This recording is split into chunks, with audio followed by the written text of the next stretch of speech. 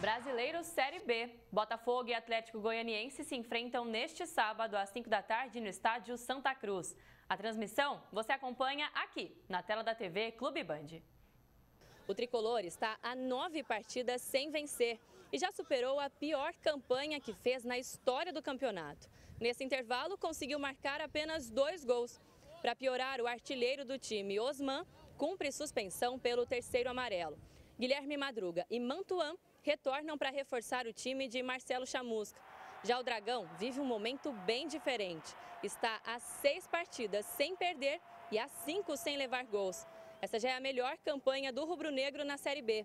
O time ainda divide com o esporte o melhor ataque do campeonato até agora. O técnico Jair Ventura deve promover duas mudanças na equipe. Heron, que cumpriu suspensão, retorna na zaga no lugar de Alex. Já no meio-campo, Gabriel Baralhas entra na vaga de Dodô.